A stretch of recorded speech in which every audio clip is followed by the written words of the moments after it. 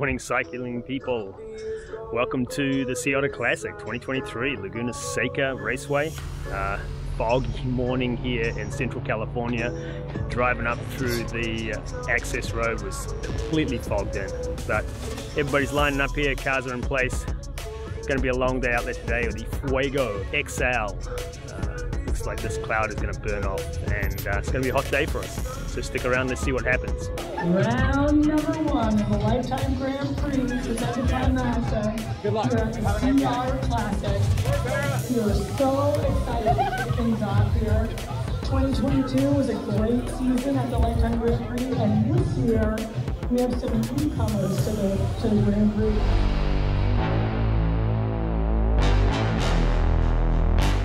Game time here at Sea Otter. We're on the line with all the other old dudes who used to race bikes. So here we go, 70 miles of rolling Central California coastline.